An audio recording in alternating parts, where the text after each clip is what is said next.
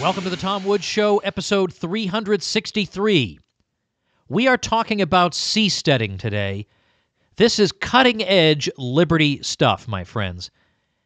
Seasteading, well, you know what? I'm going to let Joe Quirk tell you all about seasteading. But I guarantee you, you are going to find this an interesting and compelling conversation.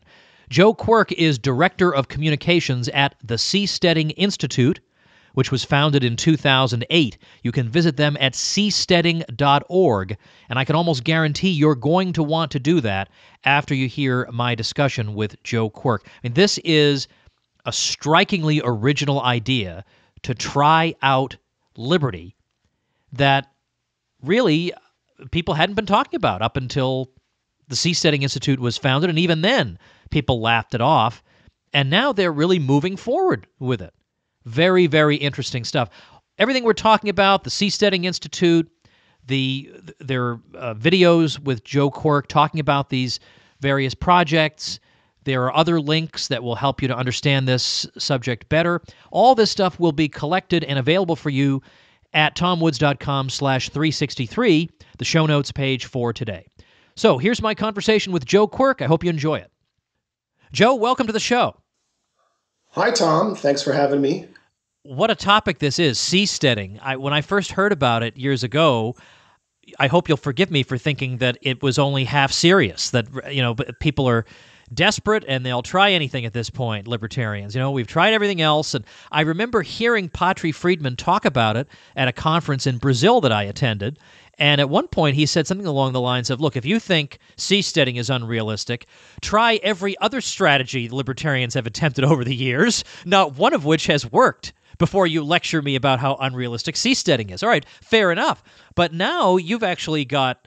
I, just watched a video that you did where you spell out exactly how it would work and what the design would be like and how much it would cost and what the relationship would be like with uh, with coastal nations nearby. I mean, you guys have taken this from what might have at one time been a pie in the sky idea to something eminently practical. Can you, before we even get started, comment on that? Yeah, it's not a crazy idea at all. If you if you think about cruise ships, cruise ships are basically floating skyscrapers, uh, and anything you do on land, people are doing on cruise ships. And the Dutch are already building floating parks and floating pavilions and plo- floating apartment houses. And the technology for floating cities is rapidly approaching. And if you think about the fact that we walked on the moon 45 years ago, and if you think space stations are expensive, imagine how cheap a sea station would be. And we see uh, seasteading as a rapidly approaching technology that will let uh, future governments evolve with a speed akin to other technologies by providing a fluid market of governments competing to serve citizens. You know, not long ago, as a matter of fact, it was just last month, I was actually on a cruise ship with uh, a number of other people, including the economist Bob Murphy. And Bob and I over lunch were saying, of course, we knew all, all about seasteading already, but we were saying how interesting it is that there's almost everything you need on this ship. Uh, you know, you do stop at ports once in a while and you can get on land and enjoy that. But basically, there's everything you need, except the internet quality could be better, but that's got to be only a matter of time at this point. And it made us, and plus, you realize when you're on a cruise ship, all the restrictions you're under with normal land based governments. Because as soon as you set sail, you can buy tax free goods, you can gamble in the casino. So at some point, some libertarian was going to put two and two together and figure this whole thing out. Tell us about, first of all, define seasteading, and then I want you to talk about how this would work in relation to existing regimes. I guess I imagine seasteading as being a totally anarcho thing. You'd be out in the middle of the waters, and you know you you would be away from any sovereign territory that could impose its legal system on you. You're envisioning something a little different from that. So sort that all out for us. Well, seasteading is homesteading the high seas, and our plan is to build floating nations that can uh, disassemble and reassemble on the ocean according to the choices of the citizens. And we think this will prevent uh, government monopolies from forming and force governments to compete to attract citizens. And continuing on our theme of cruise ships, um, these are basically libertarian skyscrapers. I mean, they they dock in one nation, they incorporate in yet another nation, they fly the flag of yet another nation, they have friendly relations with nations all over the world and they move among them. And they kind of stick together these different labor laws from one place and, uh, uh, you know, customers from another place. And there, when I was on a cruise ship, I, I was walking around trying to do back of the napkin calculations for how they could have, how they could make this profitable because it was the best standard of living I'd ever had. It's like going camping and taking your mall with yeah. you. And there's ice sculptures and there's people taking care of me and there's entertainment and it and it's affordable for a middle class American. Uh, and this sort of once we able, are able to build, say, permanent structures on the high seas that can float permanently, you realize these would be independent governments. They wouldn't dock anywhere else. And once you wrap your mind around the fact that 45% of the Earth's surface is completely unclaimed by any existing state, you realize you can have startup mobile governments on the ocean. And that insight started the seasteading movement. And now, it, you know, since Patri Friedman proposed this, it was he co-founded the Seasteading Institute with Peter Thiel, and we've attracted marine biologists and nautical engineers and aquaculture farmers and maritime attorneys and medical researchers. It goes on and on and on. And probably at this point, at least a thousand people have donated to the Institute because they want to see startup governments on the ocean. It's such a uh, Joe, it's such a good idea and such an interesting idea that I would hate to see happened to this what's happened basically all over the world that maybe here and there you start off with a pretty good idea but then the statists come around and before you know it it's just another government like every other place. What kind of built-in safeguards are there to prevent that from happening? If you imagine the ocean is so fundamentally different from land you have to think really deeply about why governments on the ocean would be different. And i think the reason uh, national governments are such so dysfunctional is because they're monopolies. I mean, some government just sort of claims a piece of land and all the people within it. You know, we're just sort of born into this nation formed by a previous conqueror, and then some government claims us. And then we can't switch to a competing provider if we don't like it. Uh, on the ocean, you're mobile. And if you can imagine, our plan is to create cities that are like mobile uh, jigsaw puzzles they can fit together and detach according to the choices of the people who live there, according to the citizens. And we think this will create a market of competing governments where uh, governments will compete to attract mobile citizens. Uh, and if you get in a political fight, you can detach, uh, move somewhere else, link up with your allies, and found your own floating nation. And we think this will accelerate the innovations uh, in governance. Because right now, we don't think 193 governments uh, represent the range of ideas that 7 billion people have produced. So, seasteaders bring a, a startup sensibility to the problem of government monopolies that don't innovate sufficiently. And we think a market of competing services in governance will unleash uh, innovation. All right, we'll come back to that topic a little bit later. There's so many other things I want to make sure I get to. Of course, I'll be linking to seasteading.org on the show notes page for today, tomwoods.com slash 363. I will also link to your, uh, you got about a two and a half minute video on floating cities that uh, spells out what you guys are up to. I'm going to link to that as well. I want to talk about a few other things. Let's talk for a minute about the maybe the, the technical aspect of things.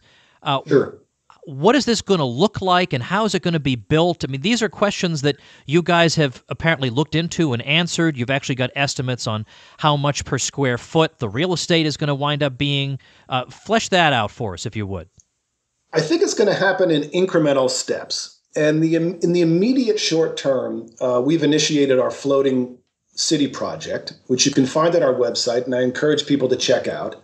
And these will be modular platforms floating in the territorial waters of a host nation, uh, which is willing to grant us substantial political autonomy.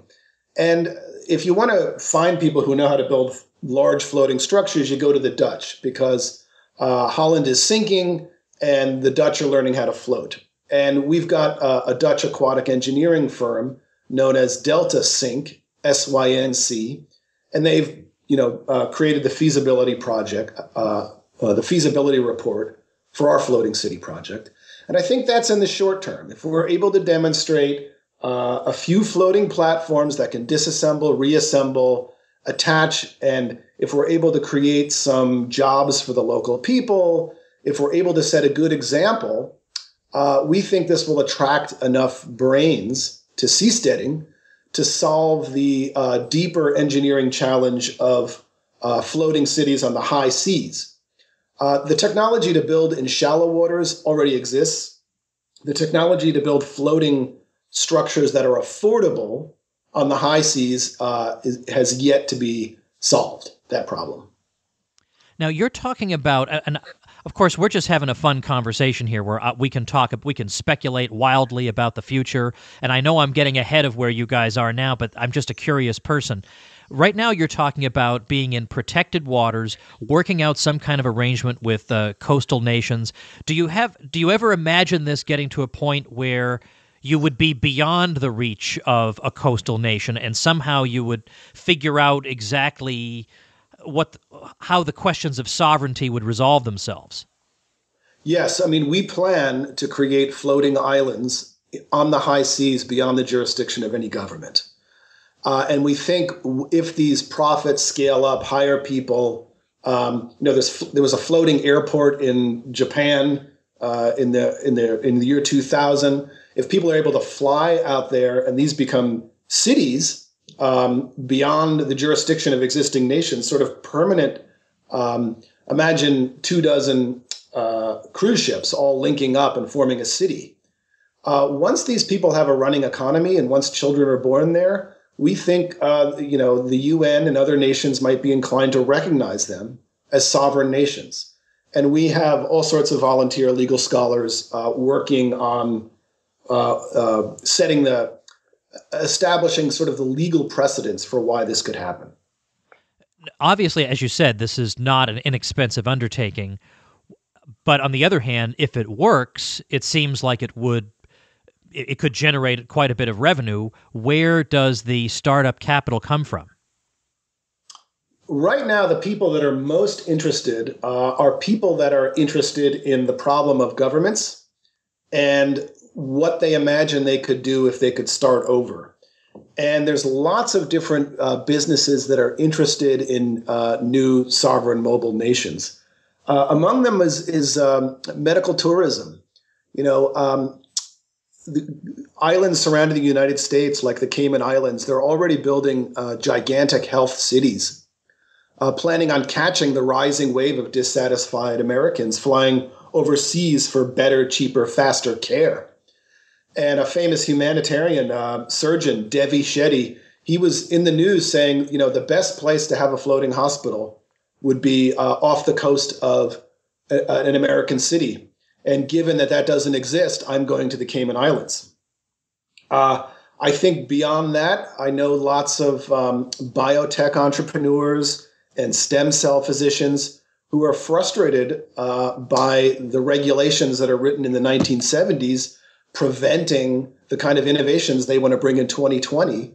And they are eager to get out from under this old gridlocked kind of sclerotic uh, system of regulations and start anew somewhere else.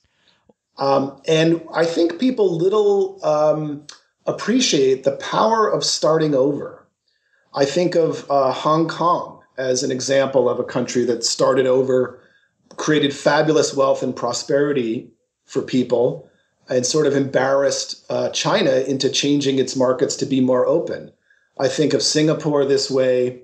Uh, I think of the Cayman Islands, which which has no standing army and in many ways takes a, a, sort of spiteful stance towards the U.S. You know, welcomes financial mavericks um, and, uh, and and medical research entrepreneurs.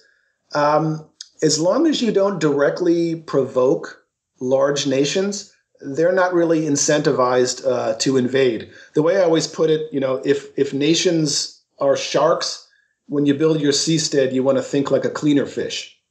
You want to provide a service that the, the big nations find valuable. Um, and people are interested in aquaculture farms. Um, people are interested in mass uh, farming of the oceans. They think the future of food is in algae. Uh, people interested in uh, biofuel are interested in seasteading, and we're attracting environmentalists. The, the, the, the sign that seasteading is a meta idea is in the diversity of solutions that people brought to us. You know, once Patri Friedman proposed this, you know, solutions we never imagined have been brought to us. Now, Joe, I realize we can take the cruise ship analogy only so far, but one valuable insight from the cruise ship analogy is that, as you described, it is an incredible world you walk into when you set foot on a cruise ship. As you say, it's com- a completely self contained society with entertainment and wonderful food and people at your beck and call. And it's, uh, and it's beautifully decorated and you feel very comfortable. But notice that this is we don't sit on a cruise ship and think to ourselves, well, what kind of system of governance do they have? Do they have a constitution? Are they electing, uh, uh, you know, selectmen? Do they have a governor? It's a private company that runs that cruise ship, and I think that's part of the reason that we enjoy being on board. Now, why can't the the seasteading thing be thought of in terms of a company, a private company runs this uh, this place, and if if you think, of course, all the progressive websites would be horrified. Well, they don't have to live there. You can move away if you don't like it. Why not think along that model instead of thinking, well, let's try and have a slightly better example of what hasn't worked at all on land, namely, we'll come up with some constitution and try and start over again. Forget starting over again. Let's really start over and try something that humanity should have tried a long time ago, which is just a purely voluntary society. What about that?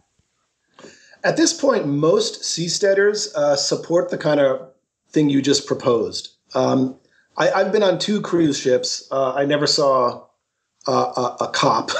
I never saw an enforcer. Uh, they do have ships all over the world have their own security, their own private security. Um, they have they bring their own private health care along. Before you get on this cruise ship, you sign uh, something with the private company saying they're going to take care of your health care. Uh, they're going to assure that your food is safe. Uh, I, I think we could easily have such a diversity of arrangements on the ocean if you just provide the technology for people to start their own sort of independent um, societies on the sea. I think unimaginable solutions will emerge. And I would like to see exactly what you proposed. Now tell me, I saw this video that, as I said, I'm going to link to at tomwoods.com slash 363, in which you matter of factly point out that there have already been talks or talks are ongoing with various coastal nations about working out some type of mutually satisfactory arrangement. I, I realize that you obviously can't disclose any specifics about that, but yet what, what can you tell us about that? Most people don't realize that legal islands within existing states are, are being created all over the world. They're called special economic zones. They come under various names leap zones elevator cities you know you had michael strong on your show uh, not long ago he, he he's interested in elevator cities um, so many uh, nations that recognize that um, solutions emerge from startups are willing to allow little kind of legal islands within their country um, and this is going on all over asia and in india and in south america and the kind of nations that already have um, legislation to allow special economic zones are open to the idea of us coming to them and saying, hey, we don't even need any land. We'll make our own land just offshore. Technically, we'll be within your territorial waters, but maybe you could uh, arrange for us to have some measure of political autonomy. And we promise that we'll do our best to create some prosperity and hire some local people and maybe create some blue jobs. And um, many uh, nations are open to this idea. So we're kind of in various stages of negotiation with several. I note here in my notes that you and Patri Friedman have a book coming out next year to be published by Simon and Schuster, which is wonderful because, of course, Simon and Schuster is a big, big, major publisher, which which naturally elevates any book in terms of significance and visibility and credibility. Very, very important. So I think for a case in a case like this, it makes sense not to self-publish, even though I've been singing the praises of that because I self-published my most recent book. In this case, I would do exactly what you're doing. The book, the title that I have here in my notes is "Why Seastead: How Floating Nations Will Liberate Humanity." Can you say a word about that? Because of course, when that comes out, I'd like to have one of you guys back on. And often proposed titles change, so you're aware of this. These things might change over time. But we think um, people are, you know, Patri comes from a family of people who've been innovating in how uh, governance could work um, for, you know, decades. Uh, David Friedman has written very interesting ideas for how anarcho capitalist societies could work.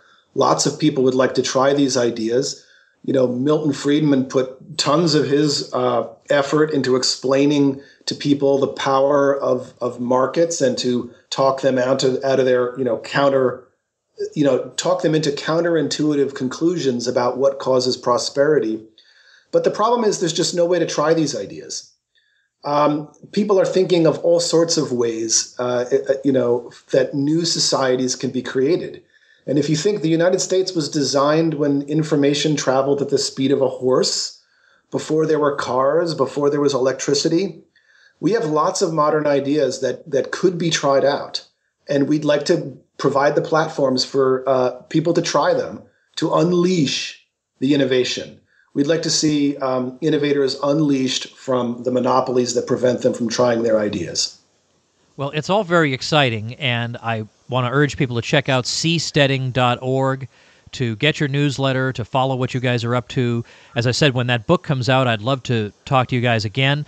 Uh, I'm going to collect all the various resources we've been talking about on the show notes page, tomwoods.com slash 363. Joe Quirk, uh, this has been, I think this is one of my favorite conversations I've had, and this is episode number 363. So I'm really grateful for your time today. A lot of fun.